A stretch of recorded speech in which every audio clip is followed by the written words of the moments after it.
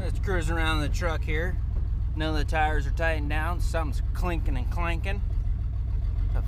That's a mess. Motor's knocking, but let's see what we got.